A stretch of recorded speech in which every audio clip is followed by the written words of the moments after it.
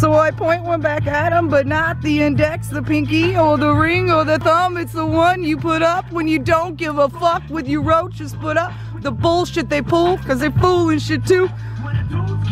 And shoots up at school and they blame it on